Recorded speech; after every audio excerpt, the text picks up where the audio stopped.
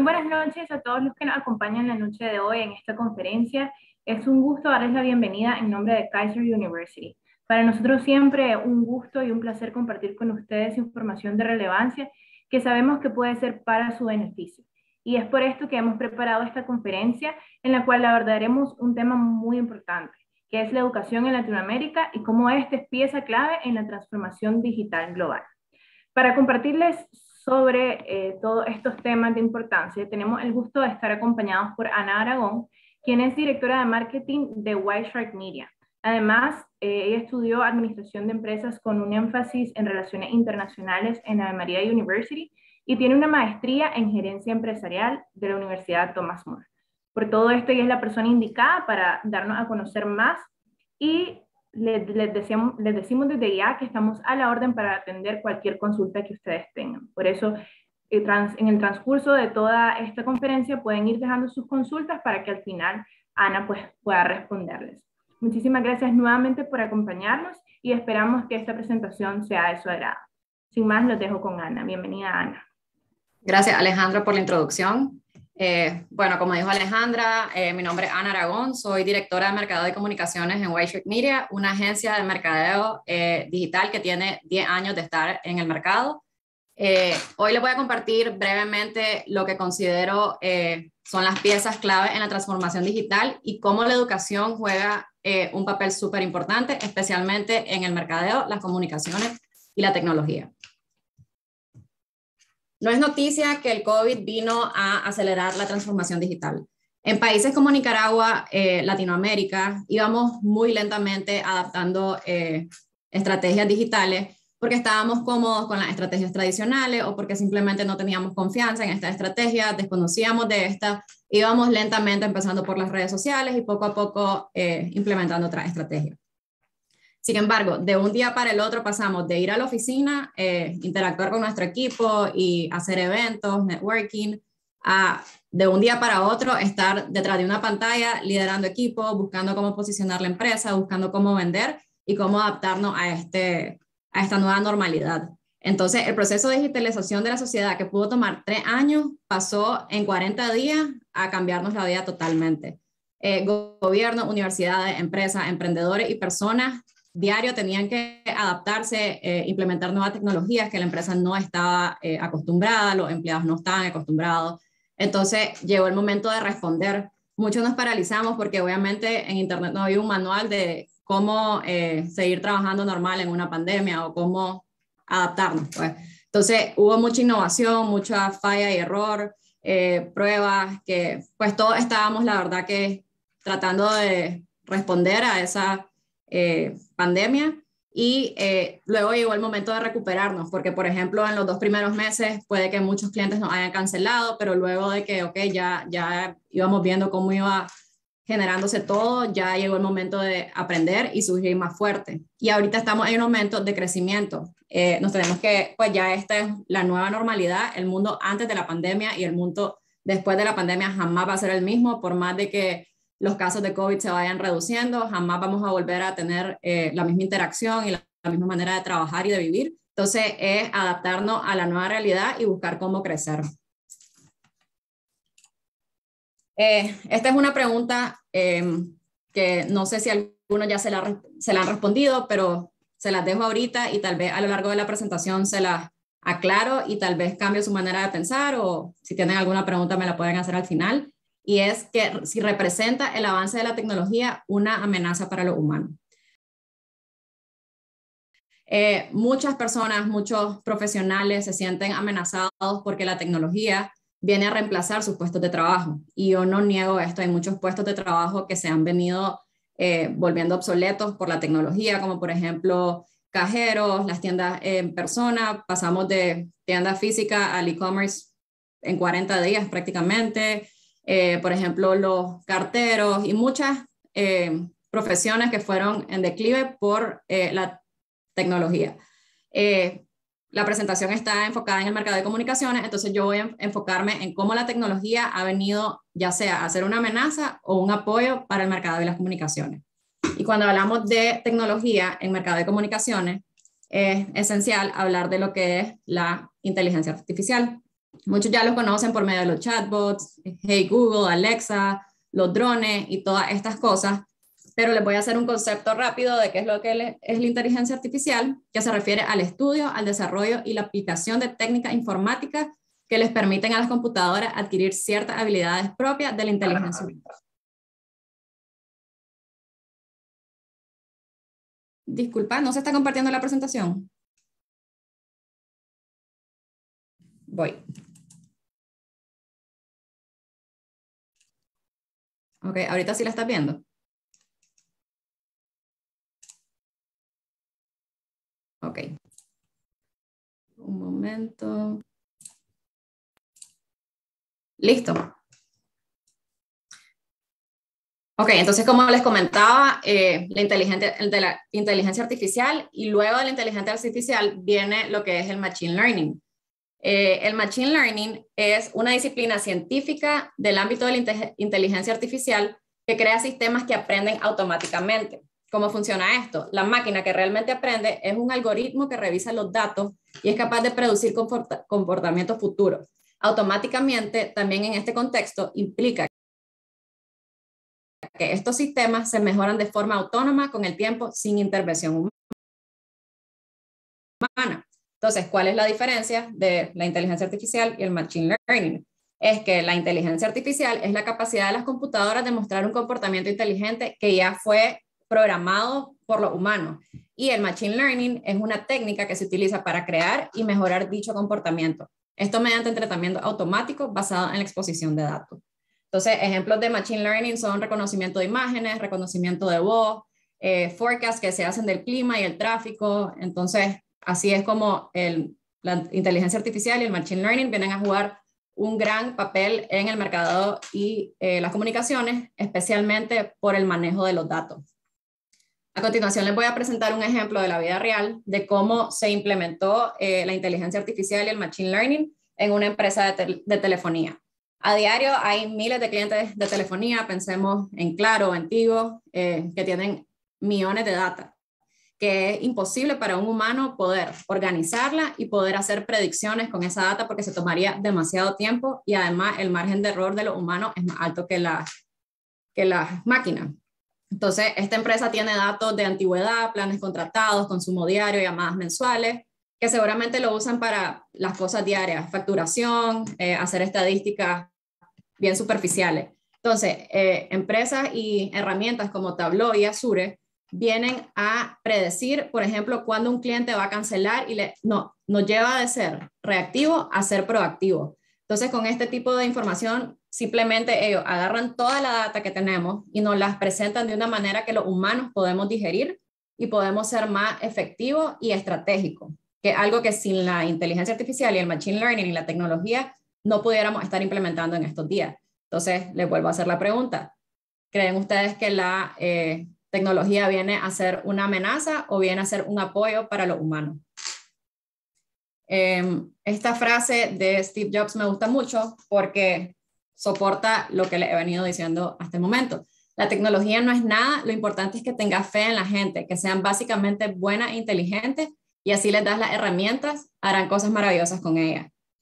¿Qué va a ser la diferencia en que seamos o no reemplazados? La educación. ¿Por qué? Porque definitivamente hay carreras que vienen en picada y hay otras que van para arriba. Entonces, la decisión que tomemos de qué carrera tomar y qué habilidades desarrollar va a jugar un gran papel para nosotros como profesionales, pero también para Latinoamérica por las oportunidades de eh, outsourcing y nearshoring que les voy a presentar a continuación. Lo voy a dejar con un video que también muestra cómo eh, la tecnología, el machine learning y la inteligencia artificial nos vienen a apoyar y a hacer cosas que los humanos no, nos veríamos limitados sin el apoyo de esta herramienta.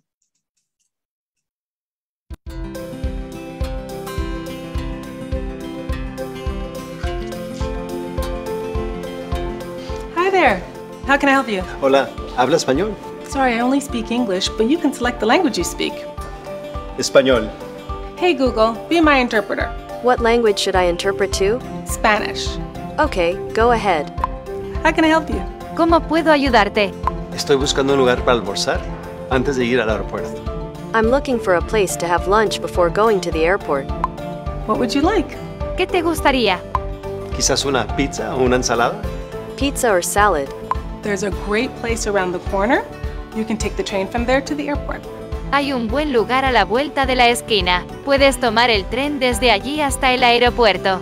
Perfecto. Gracias. Perfect, thank you. No problem. We hope you enjoyed your stay. Esperamos que hayas disfrutado tu estadía.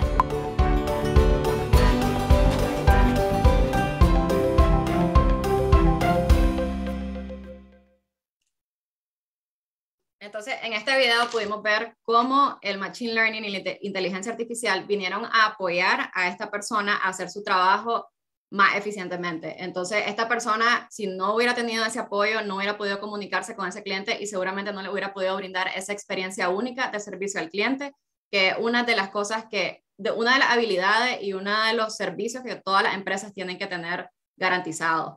Entonces, la, los humanos nos estamos apoyando de la tecnología si lo hacemos efectivamente. Entonces, ahora entremos un poquito más al mundo de las oportunidades que se presentan para los latinoamericanos en mercadeo, comunicaciones y tecnología. Esta es, eh, se sacó del informe sobre el futuro del empleo del Foro Económico Mundial y dice que el 83% de la población pasó del trabajo en la oficina al trabajo remoto, el 84% se, ace- se aceleró la digitalización y el 50% eh, se, aceleró la automatización. Y ahora hablemos un poquito del el auge del mercado digital en Estados Unidos. Antes de la pandemia eh, venía creciendo en un 3% anual. Durante la pandemia empezó a crecer en un 6% anual y se espera que después del 2022 crezca un 11% anual. ¿Qué tiene que ver esto con nosotros los nicaragüenses y los latinoamericanos? Al analizar el entorno macroeconómico, podemos concluir que a pesar de la crisis del 2018 y la pandemia del 2020, Nicaragua representa una excelente oportunidad para Estados Unidos para nearshoring y outsourcing.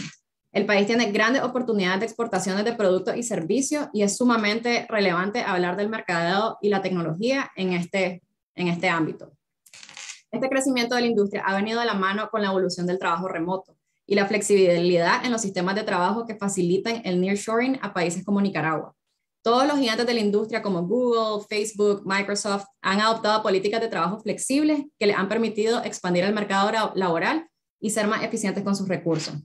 ¿Qué significa esto? A nosotros se nos abrió una puerta que antes no teníamos. Eh, ¿Cuántos soñábamos con trabajar en empresas como Google, Microsoft o grandes empresas líderes en Estados Unidos, pero simplemente no, no podíamos porque o no vivíamos allá o no se podía? Ahora, con la flexibilidad del trabajo remoto, tenemos oportunidades de trabajo en cualquier empresa del mundo. Y especialmente eh, Nicaragua tiene la oportunidad con Estados Unidos por la ubicación geográfica que tenemos y las condiciones como país que prestamos.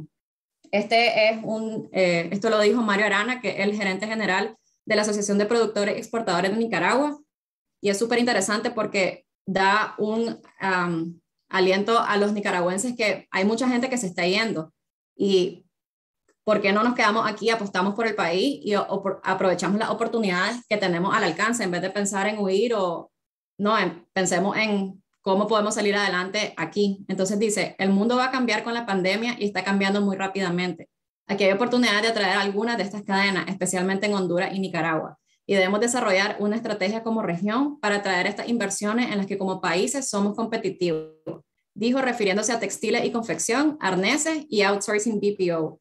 Con outsourcing BPO no se refiere solo a lo que es call center, sino también a las industrias como mercadeo. Ahorita hay muchos roles de PPC, SEO, que están siendo súper demandados por Estados Unidos, por las habilidades que tenemos y por la flexibilidad que tenemos con los horarios y la posición geográfica. Entonces, hay oportunidad, simplemente es yo como profesional en qué me voy a especializar y qué habilidades voy a seguir desarrollando para ser competitivo en este nuevo mundo y en Latinoamérica. Este es el panorama laboral de las carreras que vienen en picada y las que van en ascenso. Entonces, aquí podemos ver cómo, por ejemplo, las que vienen en ascenso son análisis científicos para análisis de data, especialistas en inteligencia artificial y machine learning, gerentes generales, desarrolladores de software y aplicaciones, profesionales de venta y marketing, especialistas de big data, transformación digital, nuevas tecnologías, desarrollo organizacional y profesionales para servicios de tecnología de la información. Si ven, todo esto va enfocado en lo que es mercadeo, comunicaciones y tecnología. Y los que vienen en caída son los digitadores de datos, porque son puestos que pueden ser fácilmente reemplazados por un robot. Eh, empleados operativos de contabilidad y administración, hay un sinnúmero de herramientas que ahora hacen todos los procesos contables automáticos y son trabajos tan repetitivos que no necesitan a una persona que esté detrás de la estrategia y la creatividad. Empleados secretariales y ejecutivos, trabajadores de ensamble y fabriles, empleados de atención para información y servicios al cliente, gerentes de servicio, contadores, auditores, operaciones y, todos estos trabajos que no, requieren muchas habilidades blandas, sino que es más eh, repetitivo, una máquina perfectamente los puede venir a hacer. Y no solo son las, em, las carreras, sino también las habilidades que tenemos que desarrollar Aquí pueden ver las habilidades que eran más buscadas por las empresas en el 2015, en el 2020 y en el 2025. Y en resumen, lo que podemos ver es que el pensamiento crítico y la, resolución de problemas encabeza la lista de habilidades de los empleadores de este año en adelante. ¿Por qué? Porque todas las habilidades que son más técnicas pueden ser fácilmente reemplazadas, pero todo lo que es estrategia, creatividad, es muy difícil que un robot lo venga a hacer. Entonces, dónde vamos a, nosotros enfocar nuestra profesión y nuestras habilidades, cómo, en qué nos vamos a enfocar para crecer como profesionales y en, eh, para ayudar a crecer el país. Ahora hablemos un poquito de lo que es mercado de comunicaciones. Eh, toda empresa tiene su estrategia de mercadeo, ya sea un mix de virtual, eh, de digital y un mix de tradicional y no todas las estrategias funcionan para todas las empresas. Es importante que cada empresa eh, identifique cuáles son las que van más acorde a su mercado meta. Pero estas tres, eh, lo que es el influencer marketing, motores de búsqueda y redes sociales, son estrategias que cualquier empresa tiene que estar eh, ejecutando en estos tiempos, más después del COVID, y son estrategias que las universidades tienen que estar ahorita enseñando a los profesionales del mercado de comunicación. No hay empresa que no necesite marketing y menos en este tiempo. Y por ejemplo, el influencer marketing. El influencer marketing es uno de los más rápidos y económicos para poder llegar al mercado meta. Es simplemente identificar aquel influencer que, se, a, que nuestro mercado meta sigue y poder hacer, ser creativos y crear una estrategia que ayude a, las ventas y a posicionar nuestra marca. Motores de búsqueda, PPC, SEO, eh, después de la pandemia, todas las empresas se tiraron a lo digital y todo lo que es pago por clic y motores de búsqueda es vital para una empresa si quiere competir y no quedarse atrás. Entonces, todas estas habilidades de crear campañas en Google, Microsoft, crear contenido, son esenciales para las empresas y lo que es las redes sociales. Para mí una empresa que no está en redes sociales no está en el mapa.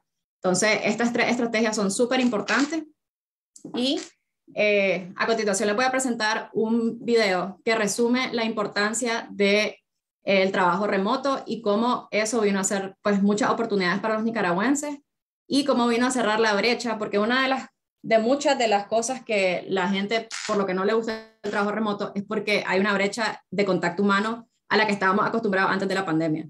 Eh, entonces el metaverse vino a cerrar esa brecha. Ese es el objetivo del metaverse y tanto Microsoft como Facebook, Meta, han estado eh, trabajando en eso y hay ciertos contratos que se han cerrado por medio del metaverse, ya hay reuniones que se han hecho por medio del metaverse y es interesante porque vemos como las grandes empresas en el mundo, en vez de estar pensando en, pues hay algunas que sí están pensando obviamente en tener una metodalidad híbrida, pero ver cómo siguen innovando la manera de trabajar remoto y de ser más eficientes en ese aspecto. Entonces, les voy a presentar este video. Metaverse. You've probably started to hear this word being thrown around lately. If you're lost, you're in the right place. Here, we'll try to answer some big questions from Microsoft's point of view. What is a metaverse? Does it already exist? And are you already in it? Let's dig in. Simply put, a metaverse is a digital space inhabited by digital representations of people, places, and things. Think of it like a new version, or maybe a new vision, of the internet. Many people talk about the internet as a place. Now we can actually go into that place to communicate, share, and work with others. It's an internet that you can actually interact with, like we do in the physical world. And it's not just a vision anymore. Right now, you can go to a concert and experience a show with other real people inside a video game. You can walk a factory floor from your own home. You can join a meeting remotely but be in the room to collaborate with your coworkers. Those are metaverses, and the future is already here. Now, I can already hear some skepticism, but an avatar of me isn't me.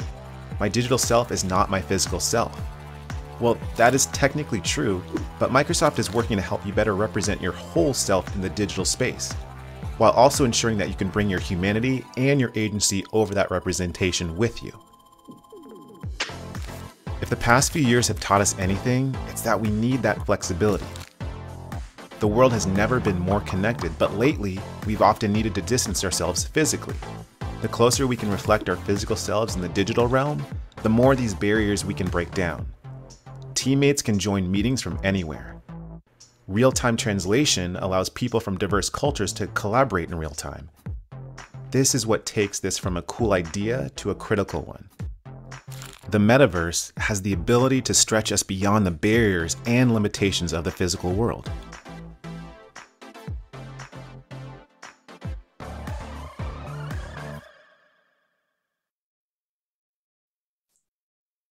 Bueno, y para concluir eh, de toda esta presentación, eh, lo que podemos concluir es que el 50% de todos los empleados necesitarán volver a formarse para 2025. A medida que aumente la adopción de la tecnología, el pensamiento crítico y la resolución de problemas, encabezan la lista de habilidades que los empleadores creen que crecerán en prominencia en los próximos cinco años.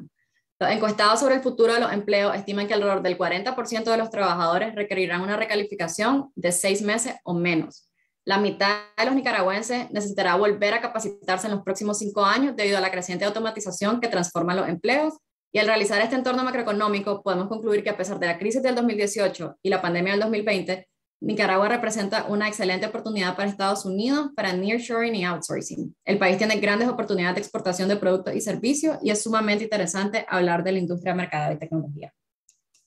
Entonces, el futuro está aquí y aquí puede estar en cualquier parte y es sumamente importante eh, pensar en qué vamos a enfocar nuestro estudio y en qué vamos a seguir desarrollando nuestras habilidades para ser competitivos tanto en Latinoamérica como en el mundo. Totalmente de acuerdo, Ana. Muchísimas gracias. Súper interesante toda la información que has compartido con nosotros, con los que nos están sintonizando. Realmente es interesante ver cómo vamos evolucionando en todos los aspectos y lo importante que es estar actualizado, ¿verdad? Porque tal como dijiste, si no estás actualizado es como que no existí. Entonces ha sido súper interesante, realmente tenemos que, que tomar conciencia, ¿verdad? En lo que el mundo está convirtiéndose ahora e ir, ir con la vanguardia para no quedarnos atrás. Eh, súper interesante, yo sé que pues todos estamos eh, bastante contentos con la información que nos has compartido, así que vamos a dar ahorita el chance para el espacio para preguntas para que si hay consultas de parte de nuestras este, personas que nos están sintonizando, pues puedas aclararlas. Así que los invito a hacer sus preguntas en este momento.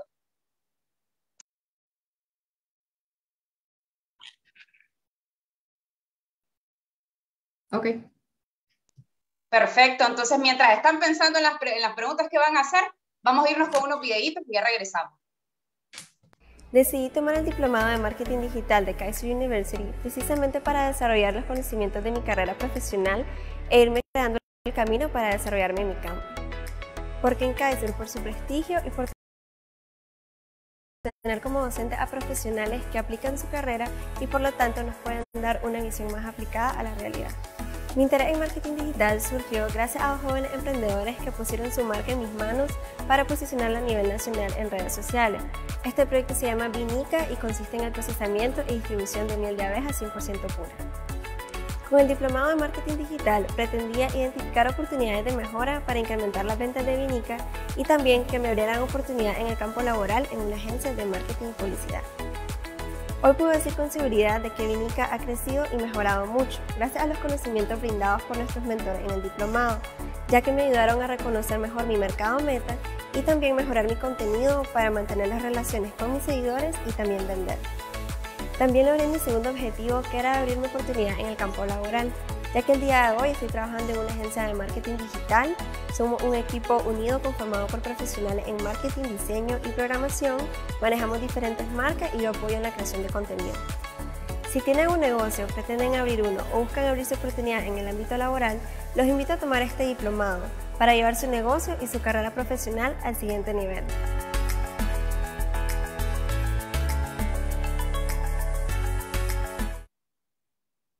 Pues Ana, creo que nos quedó todo muy claro, porque realmente eh, hasta el momento las preguntas no hay, porque realmente fue información completa la que nos compartiste. Así que tomo este tiempo nuevamente para agradecerte. Gracias por compartir esta información, por enriquecernos con todos estos, estos conocimientos que tenés y dárnoslos a conocer y darnos a conocer la importancia, repito, de estar actualizado de ir con a como el mundo va avanzando para no quedarnos atrás y siempre apostar a nuestro país para sacarlo adelante. Así que te agradezco un montón esta, esta oportunidad que has, que has tomado, ¿verdad? Y este, hay una pregunta, sí, hay una pregunta. Dice, ¿por qué Nicaragua es un potencial, es un mercado potencial laboral para Estados Unidos? Bueno, eh, es un mercado, ya proveemos servicios y productos que exportamos, pero por nuestra ubicación geográfica y por eh, la zona horaria y todo eso. Y también los nicaragüenses somos muy trabajadores. Y un problema que están teniendo ahorita en los Estados Unidos es que la gente no quiere trabajar. Entonces nosotros somos un mercado súper atractivo para ellos y también por el costo-beneficio, porque somos súper eh, buenos profesionales y pues nuestro costo de vida es mucho más bajo que el de ellos. Entonces siempre vamos a representar una oportunidad para ellos. Excelente. Otra pregunta, Ana, ¿cuál es el apoyo a los jóvenes de parte de la universidad, de las universidades? Eh, bueno, yo sé que hay eh, becas que se ofrecen ya sea por deporte o por otro tipo de, de, excelencia académica que ofrecen las universidades. Y también, por ejemplo, yo sé que Kaiser, por ejemplo, tiene el programa de intercambio con su main campus que ofrece oportunidad de hacer networking con personas que están en los Estados Unidos.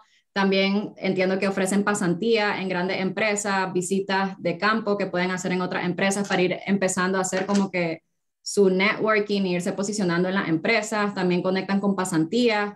Entonces las universidades tienen bastantes maneras en cómo apoyan a sus estudiantes y también a los nicaragüenses. Hay universidades que son públicas, que pueden, pues que la gente tiene acceso y esa es la manera en cómo, cómo apoyan. Gracias, Ana. Les recuerdo que nosotros en Kaiser University tenemos un departamento de desarrollo profesional que está enfocado, como decía Ana, en apoyar a los jóvenes, a, todas estas personas que están interesadas, digamos, en eh, lanzarse al mundo profesional, en conseguirles, digamos, pasantías, incluso nosotros, eh, como Kaiser University y como el Departamento de Desarrollo Profesional tenemos metas de colocación en puestos de trabajo a nuestros graduados y eso algo muy importante. Ese es parte del apoyo que nosotros damos a nuestros estudiantes y a nuestros graduados. Creo que por el momento ya no hay otra pregunta. Eh, gracias, Ana, nuevamente. Gracias a todos los que nos sintonizan. Eh, realmente ha sido bastante valiosa esta información. Eh, esperamos tenerte nuevamente, Ana, compartiendo con nosotros y con nuestra comunidad. Gracias a ustedes por invitarme. Estoy a la orden por cualquier pregunta. Eh, me pueden contactar por LinkedIn o por medio de Lorena y ella me contacta a mí y estamos a la orden. Perfecto, muchísimas gracias. Y los invitamos a todos que los que estén interesados, digamos, en, en apuntarse, en aplicar, en pedir información en nuestros programas, tanto de posgrado como de pregrado, que visiten nuestra página web, Kaiser University Latin American Campus, y soliciten la información de lo que ustedes necesitan, que con gusto estamos para asesorarles y brindarles la información. Así que me despido. Gracias, Ana. Gracias a todos los que nos sintonizan. Buenas noches y lo esperamos nuevamente con nuestros próximos webinars para estarles siempre enriqueciendo con información. Gracias. Buenas noches. Buenas noches.